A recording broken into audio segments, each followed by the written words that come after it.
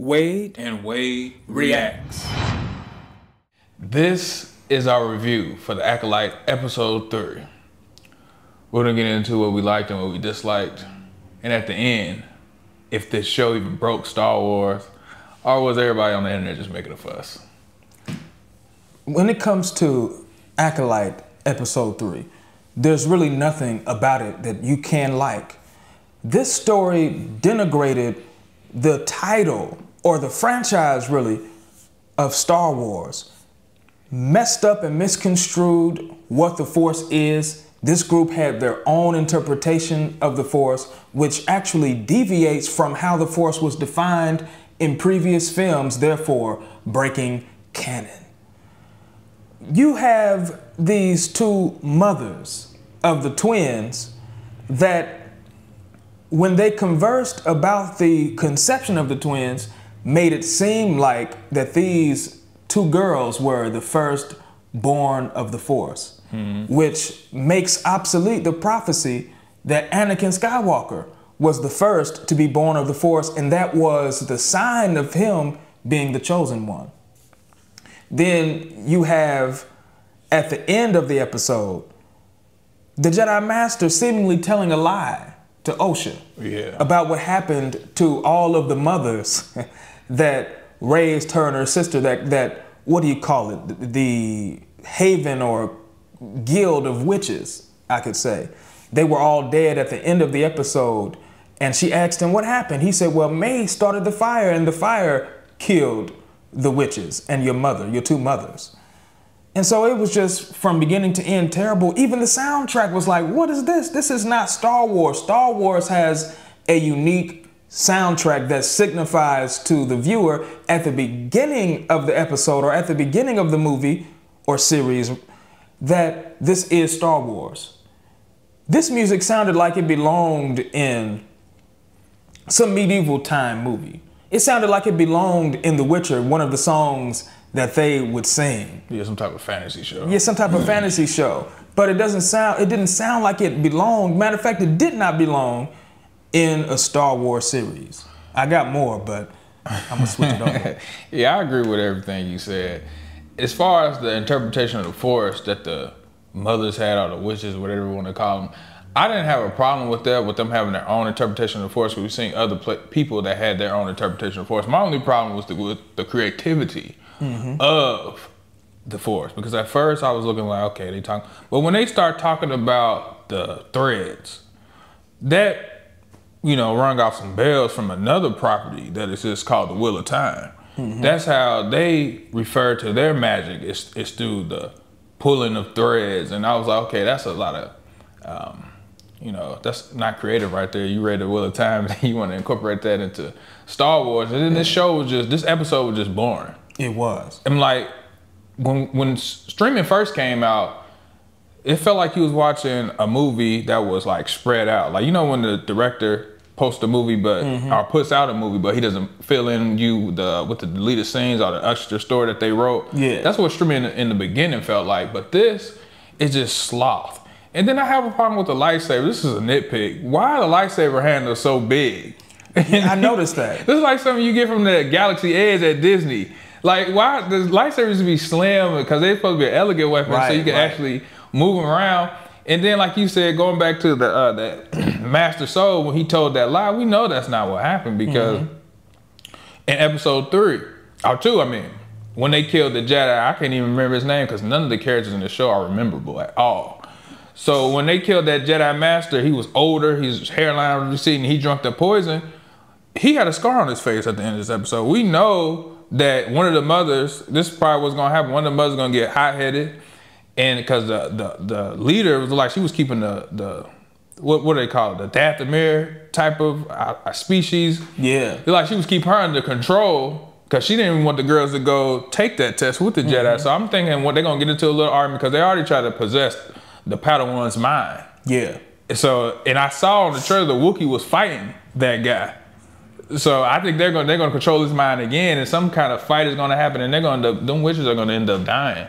And that's cool, but this episode cannot stand on its own because it kind of slows the plot down. Exactly, This should have just been flashbacks. Right, and it should have been a brief flashback. You can fit all of that into like a two to three minute flashback. Summarize what happened in Osha's and May's childhood. You don't need to create a whole episode about it because, like you said, all it did was cause this series to drag. This is different than a movie. This is a series. So you got to keep the action rolling, and we only got what eight episodes. Yeah.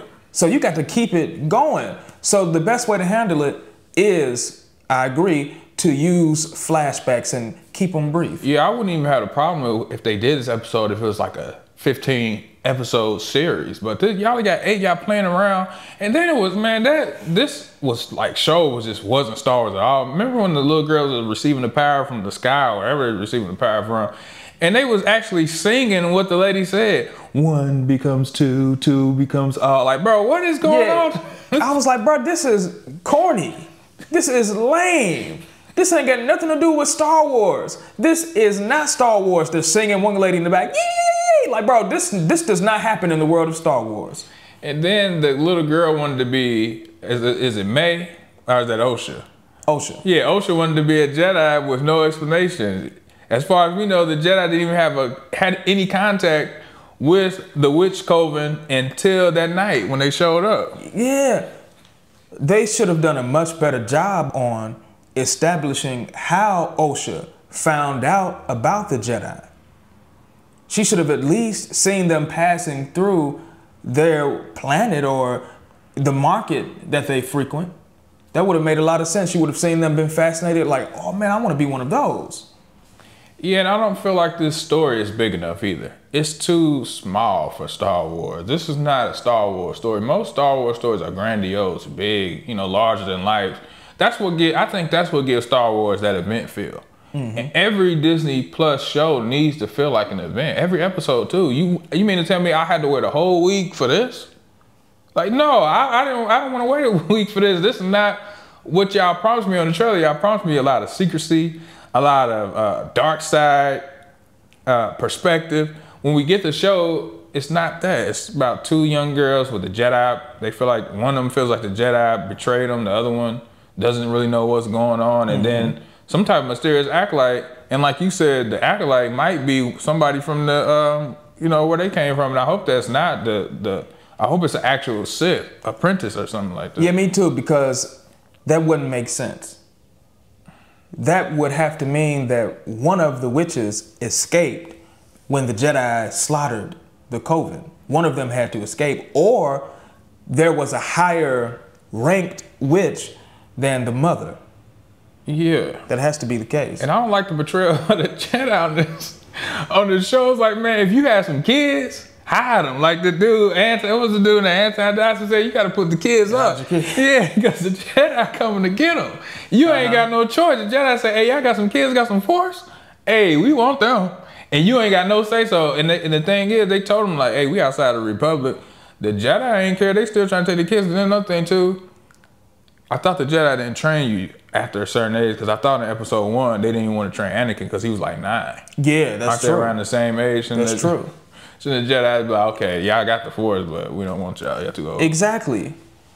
The Jedi were portrayed as a group that is out for their own interests. The Jedi is subject to the laws of the Republic. So if they were truly outside of the Republic's jurisdiction, they wouldn't go ahead and try to take those kids from the witches unless there was some type of incentive for them to do that. Or they were suspicious of the rise of the Sith from this witch coven. Yeah, that that, that would have been good. But this this episode right here, I mean, I, I already didn't have any hope for this series, but this episode really was a stinker. It just really put me all the way in a sour mood. Just brought my mood all the way down here. So from scared of whack to masterpiece, where do you rank this? Man, this was whack. This was garbage. This was not Star Wars.